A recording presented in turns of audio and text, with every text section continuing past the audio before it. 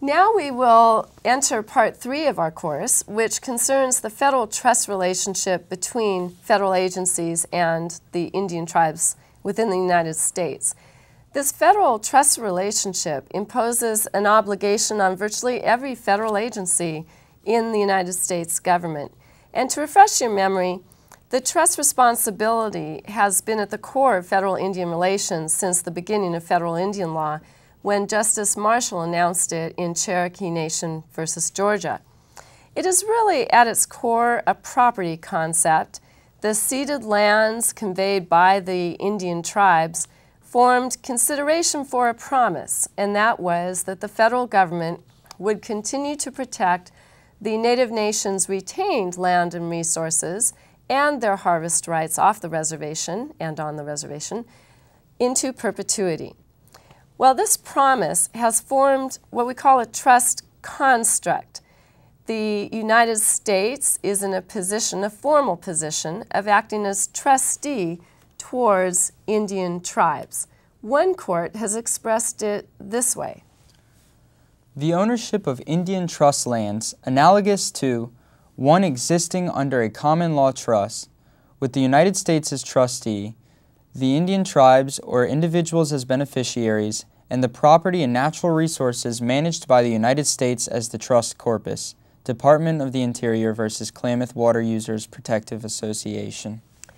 Those were words expressed by the Supreme Court of the United States not very long ago in 2001. They form the framework of a continuing obligation that is enforceable in courts of the United States. There are two aspects to this obligation, in effect. One is the management of Indian lands and resources themselves, and the other is the um, obligation of federal agencies acting outside of Indian territory. We'll get to both of those in a moment. But first, let us pause and recognize that all of these Indian law principles are in effect outside of and independent of the statutory law or regulations that you may deal with.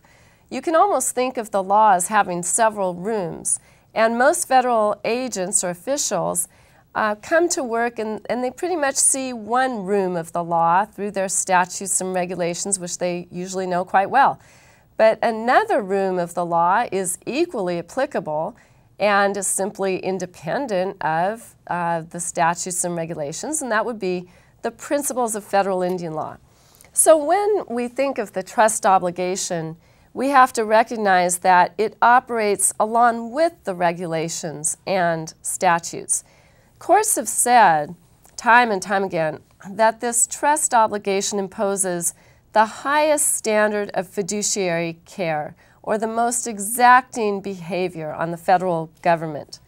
Well, as I said, there are two aspects to the trust relationship, so let's go into those now. The first is the federal management of Indian lands and resources. The Bureau of Indian Affairs, located within the U.S. Department of, of Interior, is the designated agent for the United States to carry out the trust relationship. Recall that the federal government technically owns the natural resources and lands of the tribes in trust for the tribes. Now that means that the federal government can't profit itself from that ownership, but rather must manage in the best interests of the tribes and Indian beneficiaries. BIA is the agency charged with the task of carrying out this management more and more tribes are taking over their own programs. For example, we talked about tribes developing their own environmental programs under environmental statutes. In this era of self-determination and sovereignty, tribes are very anxious to take over their own programs on the, the reservations. In particular, uh, one, um, many times the BIA has in the past mismanaged Indian land and resources uh, to the great detriment of tribes. For example, with respect to the Quinault Indian lands up in northwest Washington, the BIA clear-cut such lands so badly that it caused enormous destruction of fisheries. And so the Quinault Indian Nation um, is anxious to, um, manage its own lands, and that would be typical of many tribes. But still, the federal government is positioned as trustee, which means that the BIA needs to, or is in the position of, approving any lease or any sale of Indian property or major resource. That is to say, tribes, because of their unique title that was characterized by Justice Marshall way back in Johnson v. McIntosh, tribes can't just sell or alienate their lands and resources without federal approval. And this comes as a surprise to many. Moreover, in exercising the federal management role, several modern statutes do apply to the BIA. For example, the National Environmental Policy Act, which requires environmental study before any federal agency takes major action affecting the environment. Well, that statute applies to BIA in carrying out management on federal Indian lands. The Endangered Species Act also applies to tribal lands and BIA activities on those lands. So there is an entire realm of BIA responsibility with respect to Indian lands. This, I mentioned there were two aspects of the trust relationship. We've covered one, which is on the reservation, but the other one is off the reservation. There are so many actions now that federal agencies take that do affect Indian tribes. Many of these actions are through environmental statutes that permit enormous destruction of resources that tribes still rely on. Let's take a look at just a few. Uh, in the Coeur d'Alene watershed of Washington and Idaho, the federal government has uh, undertaken enormous logging and approved mining. These have consequences for the entire watershed, and as a result, the Spokane tribe and other tribes of the region have a great challenge uh, facing them because their fisheries are contaminated with uh, enormous mining pollution. In the Mount Hood area and forests across the country, the U.S. Forest Service engages in activities that threaten sacred sites of many tribes. And again, these sites are on federal lands. They used to be Aboriginal lands owned by the tribes themselves that were then conveyed probably through treaty. At the Hanford site in Washington state, the U.S. Department of Defense operates one of the most contaminated sites in the entire world at the Hanford Nuclear Reservation. The radioactive waste from this site uh, is leaching into the Columbia River, and that poses enormous contamination and potentially devastating effects for the fisheries and the people who eat them. These are the same fisheries that we saw were protected by treaty fisheries used by the Nez Perce, Yakima, Umatilla, Warm Springs tribes, and Shoshone Bannocks. And finally, another example we've already talked about is the federal operation of the hydropower system on the Columbia River. This hydropower system kills over 90% of the migrating juveniles of some species of fish, and it is a factor in the, in the uh, threatened extinction of many fisheries in the Columbia River Basin. So we must ask, how is the trust obligation to protect these resources enforced? Tribes have two avenues available to them to enforce the trust obligation. The first one is through the Tucker Act. The Tucker Act is an act that provides damages, that means monetary relief, to the tribes. It is often used by tribes against the Bureau of Indian Affairs when that agency has purportedly mismanaged the tribal resource. For example, we saw uh, the Quinault Nation in a slide of the, the timber resources up there. The Quinault Indian Nation brought a huge Tucker Act claim against the BIA for mismanaging its timber resources. The second avenue is through the Administrative Procedure Act, and this act allows tribes to seek injunctive relief. That means um, a court would stop some action, prevent it from going forward, or force some remedy. And so when we think of uh, protecting fisheries in the Columbia River Basin or stopping a logging, a timber sale, or, or something of that sort. Um, tribes would often go through this avenue to prevent detrimental action from occurring. So we have two levels or two avenues to enforce the trust obligation. And courts have taken this trust obligation seriously and many times have enforced it to the maximum extent.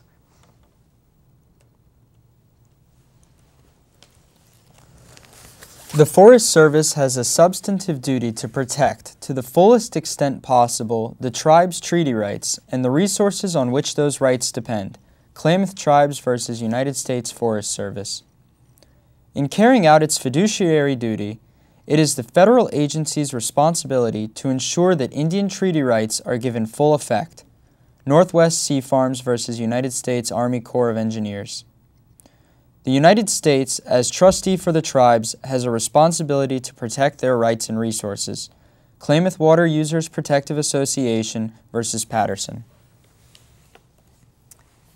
The real challenge for tribes today is to gain some sort of co-management role for resources off the reservation.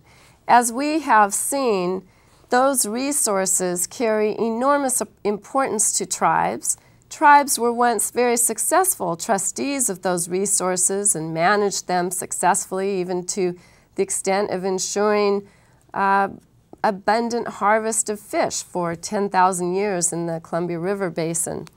And so many tribes today are trying to figure out ways to regain their environmental sovereign prerogatives across lands that they have lost over time under the U.S. framework of law. This is a real challenge for tribes because recall the tribe's jurisdiction as nations is limited to the land within their boundaries. It's limited to the reservations. But as we have noted repeatedly, many of the actions taken outside the reservations have enormous consequences for tribes. Here you see in this slide uh, a culvert. And um, as I mentioned, the culverts create passage problems for fisheries that the tribes rely on. So fisheries um, go down uh, the more culverts there are that, that do not operate functionally. How do tribes address this? How do they seek ways of finding a co-management handle? There are basically three potential avenues. One is through litigation. And we mentioned earlier a case from the um, District Court of Washington that uh, involved culverts and said that the treaties of the Pacific Northwest have an environmental protection element to them.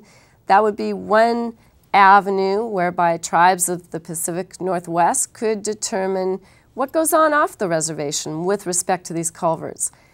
In general, litigation involving tribal treaty rights in the Pacific Northwest has been very successful for tribes in both Washington and Oregon, tribes have managed to gain a tremendous role in fisheries harvest management through litigation. The second potential avenue is through treatment as state programs under federal environmental law. These are the TAS programs that we mentioned earlier in this course. Under federal environmental law, tribes can establish their own environmental programs that apply to their own reservations, but a rather sleeper provision of many laws would allow those program standards to be enforced even off the reservation. There are a couple of major cases actually uh, upholding the U.S. Environmental Protection Agency for enforcing strict tribal water quality standards off the reservation in areas under state jurisdiction.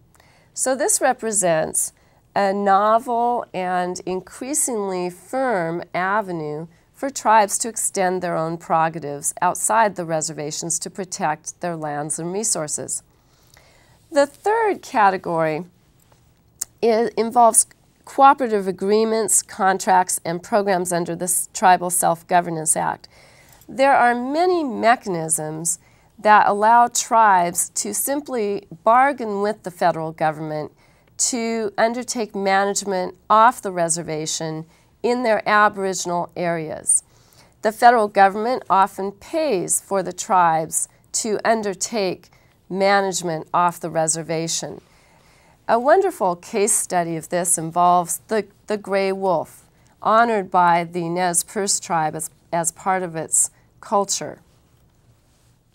Gray wolf, salmon, deer, eagle, whatever the species may be, they have a place and a purpose.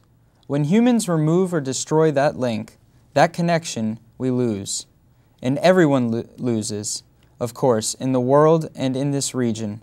But the Les Nez Perce lose a bit more of their culture, of their spirituality, and most certainly of their treaty rights. Levi Holt. Holt is a leader of the Nez Perce tribe, and when the wolf was listed, it came under uh, the jurisdiction of the U.S. Fish and Wildlife Service. The U.S. Fish and Wildlife Service wanted to recover these wolves in Idaho and areas of other states, but it needed a partner in Idaho to actually carry out the recovery objectives. Well, the state of Idaho was not interested. The state of Idaho was opposed to the recovery of wolves. And so the Nez Perce tribe, which we have looked at in several contexts, stepped forward and said, we will contract with you to carry out the recovery of wolves in Idaho because it's a cultural species for us. So that agreement was made between the U.S. Fish and Wildlife Service and the Nez Perce tribe. The tribe hired two full-time biologists and other seasonal staff to monitor radio-collared wolves. They kept track of pack behavior and reproduction. They relocated wolves that attacked cattle or sheep. They negotiated with ranchers and built up friendly relations with the ranching community, which was traditionally opposed to wolf reintroduction.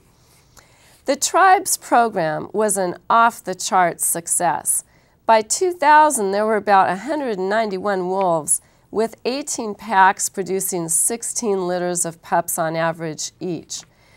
The problem then became it was such a success that the federal government then moved to delist the wolf and remove its protection under the Endangered Species Act.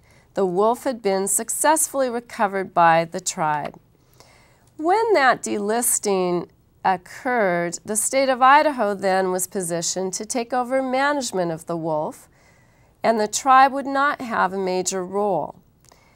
The state determined that the wolves would be open to hunting seasons, and that determination was just enjoined recently, last month, uh, by Judge Molloy, a federal district court judge in Montana.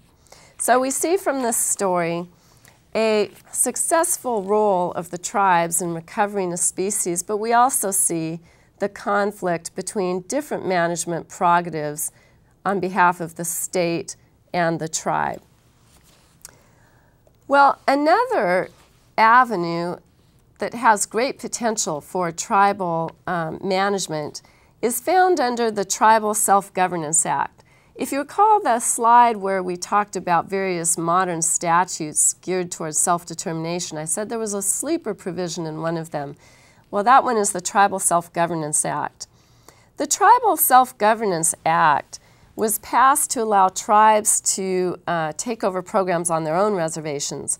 But one provision in it, Section 458CC, actually allows tribes to receive annual funding agreements to administer programs and services under the jurisdiction of the Department of Interior outside the reservation. The idea is the tribes can get money under this act from Department of Interior to manage or participate in the management of areas off their reservation that were of Aboriginal importance to them.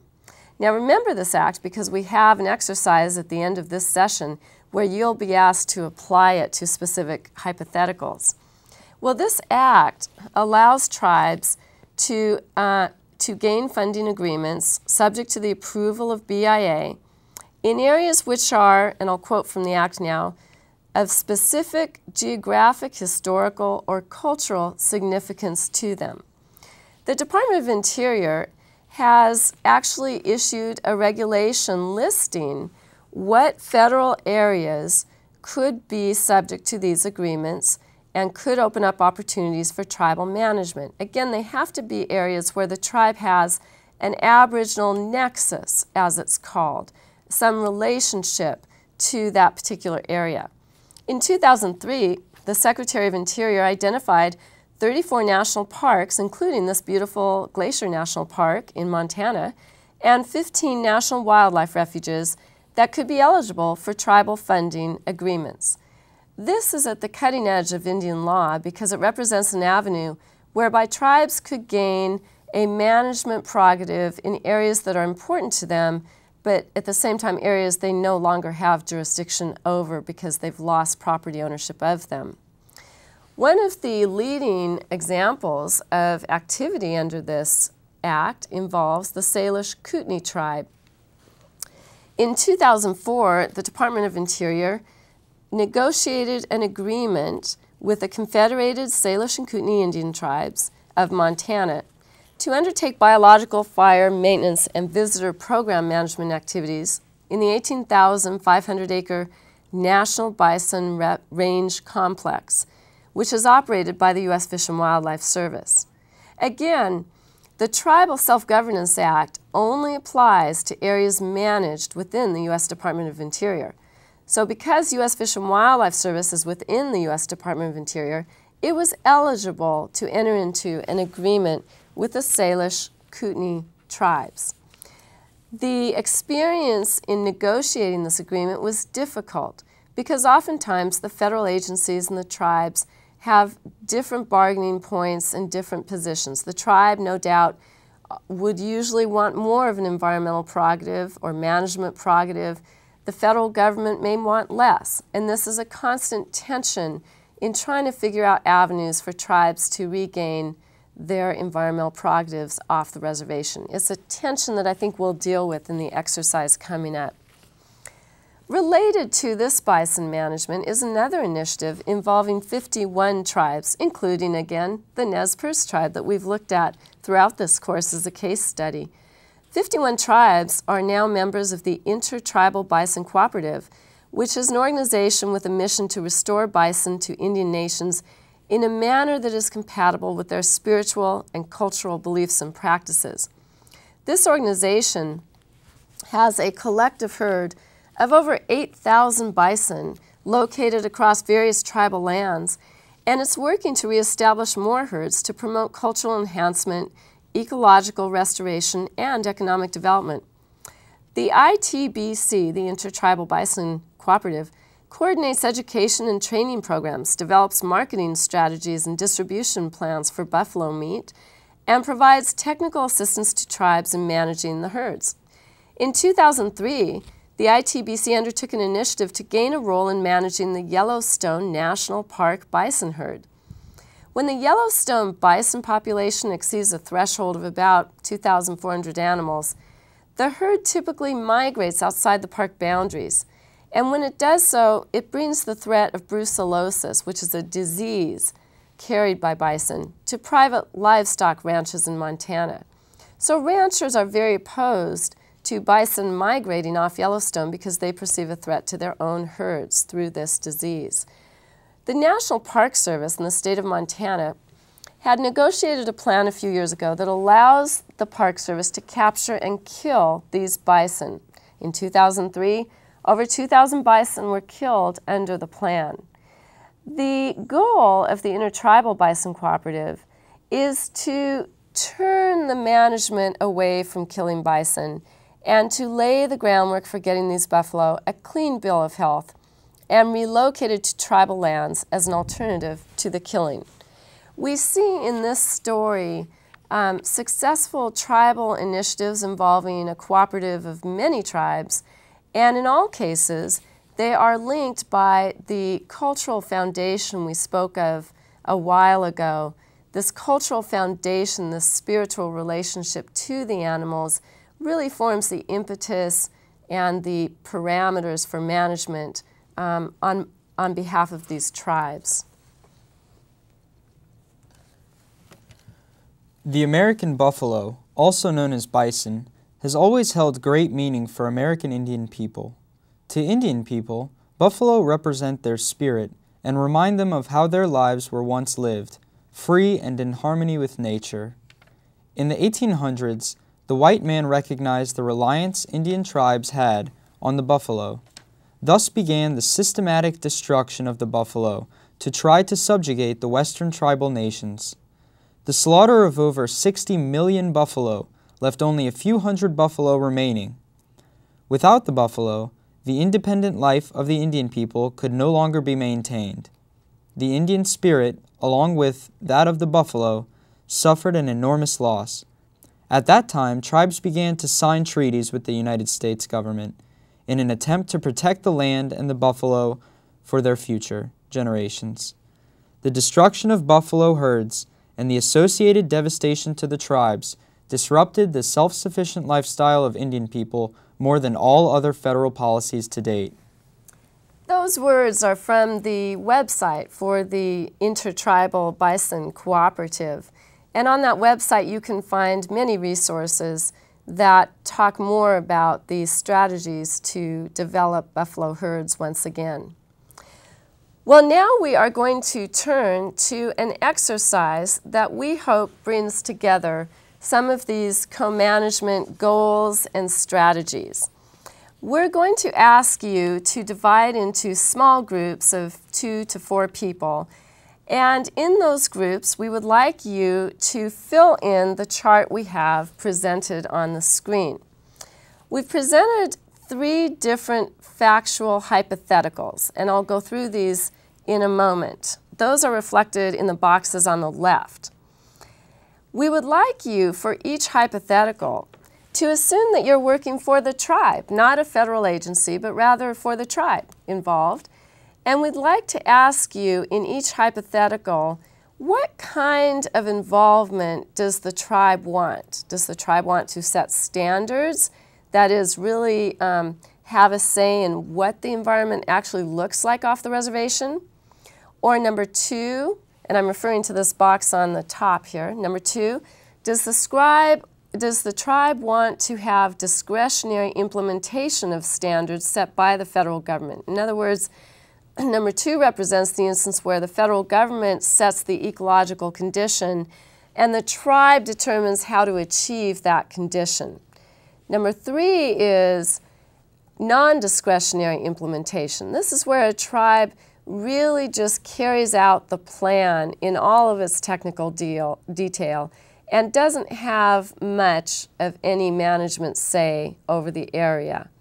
And number four, enforcement, is a role where the tribe simply just enforces the rules that apply. Perhaps tribal uh, wardens are deputized by state or federal authorities to carry out this enforcement. So those represent, one, two, three, and four, different avenues or let us say different levels of engagement in management off the reservation. We'd also like you to consider, on behalf of the tribe, a possible strategy and what kind of authority there might be for tribal involvement. And then finally, moving over to the right-hand column, consider some likely opposition because most times um, that management changes hands, as you all well know, uh, there's usually opposition no matter whether the instance involves tribes or not. Well, now let me um, reflect or, or introduce these three hypotheticals we've got. The first one involves sage grouse reintroduction on Bureau of Land Management lands. Here, the tribe you work for wants to initiate a reintroduction program for the sage grouse both on tribal lands and lands that it ceded once that are now held in BLM ownership. BLM is a federal agency within the Department of Interior. Make sure you make note of that. This species, the sage grouse, has been proposed for Endangered Species Act listing, but the U.S. Fish and Wildlife Service has decided has not yet decided to list it. It's pending.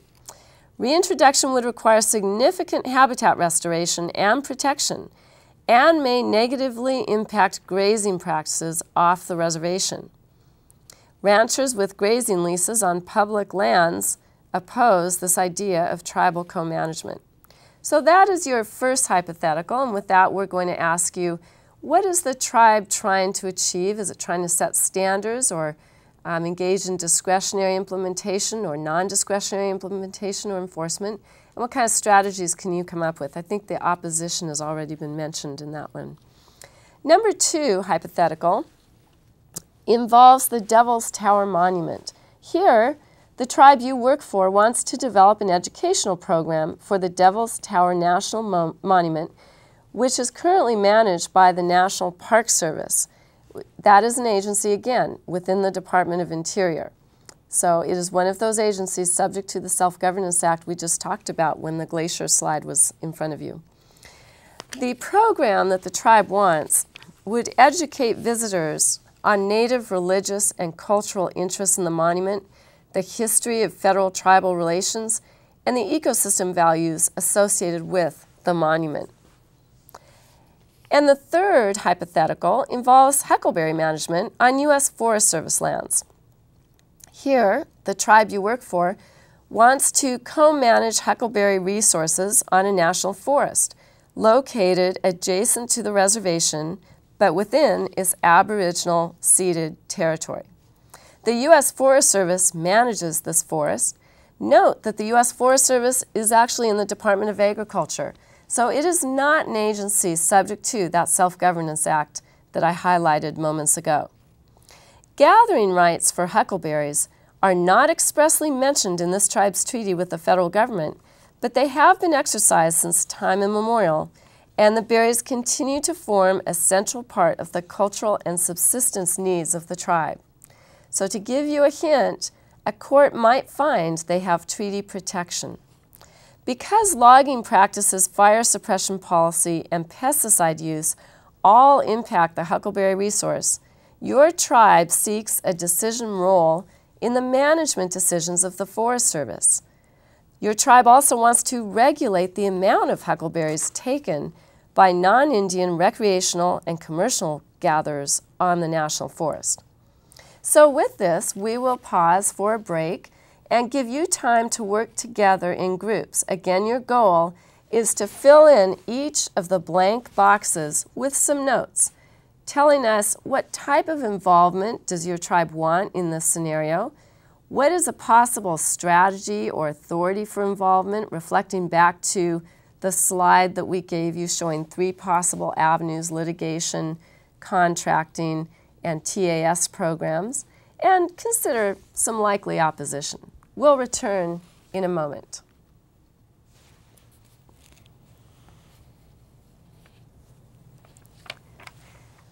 Well, you've had time to discuss this exercise. We're keeping the chart on the board so that we can fill it in. And uh, John, Michael, and I will take a shot at discussing this ourselves just to give you an idea what our thoughts are on this exercise. So, John Michael, let's turn to the first one, the sage grouse reintroduction on BLM lands. Let's, uh, let's let you take a shot at filling in the first box. What, what do you think that is? Setting standards or discretionary implementation, non-discretionary implementation, or enforcement? I think that this first one is probably, uh, probably has to do with setting standards or conditions dealing with uh, introducing the sage grouse, such as controlling the number of sage grouse. I think you're right. Um, setting standards is probably the most ambitious for a tribe, but it wants to set numbers, and that seems to be setting the ecological condition. And I guess uh, my job now is filling in the second box, which is what kind of strategy would the tribe pursue?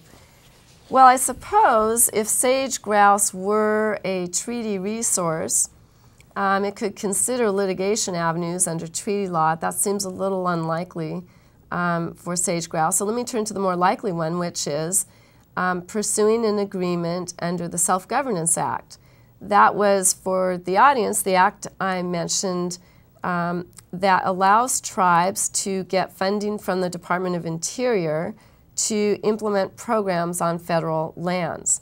Now, the easy part of this for the tribe is that BLM is an agency within the Department of Interior. So definitely, um, it is a qualifying agency.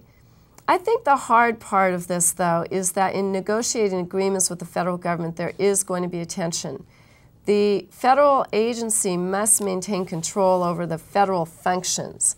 And it will likely say that it is a federal function, not a tribal function, to set the levels of recovery.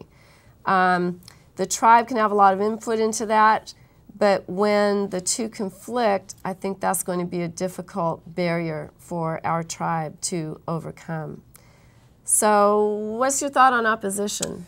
I think that for opposition, you're probably going to get um, some ranchers who aren't happy with tribal management of sage grouse and um, others who might argue that uh, tribal control would invade the inherently federal function of managing BLM lands.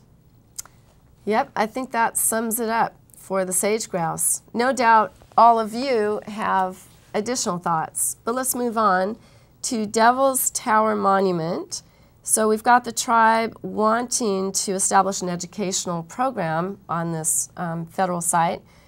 John Michael, what kind of involvement do you think this presents? Um, I think that for this one, you're probably dealing with number two, discretionary implementation, um, especially if they can determine the content of the educational program. Uh, it's not so much that they're setting standards as they're simply implementing the educational program. Yeah, it's not setting standards, but they're determining the content. So that's different from, say, non-discretionary implementation where they would just simply, you know, punch the video or load the video or they're determining the content of the video. I think you're right.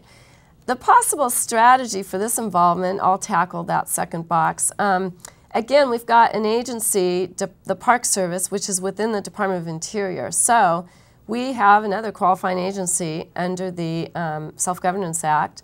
And I think this holds um, more realistic possibilities for the tribe in that the, the the culture of the tribe is relevant to Park Service management, and the tribe is the best position, not the federal agency, to determine the content of that educational programming. Um, do you foresee any likely opposition with that? Uh, not really. I think that um, this is a program that would be uh, likely to succeed. Yeah, and increasingly, uh, parks do have this kind of uh, programming that does involve quite a bit of the history, um, pre-colonial history. Moving to number three, the huckleberry management on U.S. Forest Service land that your tribe wants to engage in. Um, they want to do quite a few things here. So what, what type of involvement do you foresee here? Um, again, I think this is uh, more similar to number one than number two. I think that they would uh, be setting standards, again, controlling the huckleberry resources uh, seems like the highest form of co-management. Well, I think you're right, especially since um, the tribe is motivated to do this because of the pesticide use, the possible overharvest, um, and some of the logging activities which threaten the huckleberry resource. So this, this is actually where the tribe's saying, federal agency, uh, you're not setting the right standards and we have a different vision of this management. So the possible strategy for involvement is a little trickier here. I'm in the second box. Um, it's trickier because the Forest Service is not an agency within the Department of Interior. Therefore, the Self-Governance Act does not apply. Now, that doesn't eliminate all chances of a cooperative funding agreement by any means. Any federal agency can enter into an agreement with tribes to um, carry out aspects of management. So certainly, just like the Nez Perce, uh, entered into an agreement with the Fish and Wildlife Service. That was actually not a self-governing agreement. That was just a regular uh, contract. Certainly the federal agency, here the Forest Service, can enter into an agreement with this tribe for management. Um, again, probably the federal agency has its own vision of how this land should be managed that differs from the tribal vision. I would say here treaty litigation is a possibility. Even though the huckleberry rights are not explicitly mentioned in the treaties, huckleberry uh, harvest and general harvest, since it's continued since time immemorial, would likely be interpreted by a court to be protected by the treaty, even though it's not explicitly mentioned in the treaty. In other words, courts interpret the treaties as the Indians themselves would have understood them. That's the actual language from several court cases, as a matter of fact. So a court would likely say these tr tribal people had relied on huckleberries when they entered into the treaty, and they should still ensure their continued existence under the treaty. Because of the recent Culverts decision, which we talked about, is called US v. Washington Phase 2 Culverts decision, uh, where a court actually found a right of environmental protection in the treaty um, with respect to harvest of fish, I think there's a possibility that that decision could expand into some other scenarios, including other harvest scenarios under treaties. So litigation would be a strategy that a tribe may wish to pursue. Uh, what kind of opposition might they encounter? Well, I think that tribes trying to assert um, treaty rights might butt heads with uh, commercial huckleberry growers and loggers um, in particular. Yes, this, uh, this is probably the most difficult scenario for a tribe to tackle, but one which carries on and may be important to carry on its traditional harvest prerogatives. Well, with that, we have come to the end of our course on federal Indian law and policy. It's been a great privilege to do this course and present this area of law, and we thank you for your attention. Thank you. We would like to end this session with a quote from Rennard Strickland, who is considered a foremost authority on federal Indian law. And we put in this quote with the hopes that it will provide some thoughtful um, lead in to the future ahead. Thank you. History suggests that if mankind is to survive, the next 500 years must be rooted in the pre Columbian ethic of the Native American. The second American quincentenary belongs to the Indian. The continuation of the past, the conqueror's exploitation of the earth, can mean only one thing no one, Indian or non Indian, will survive. Rennard Strickland.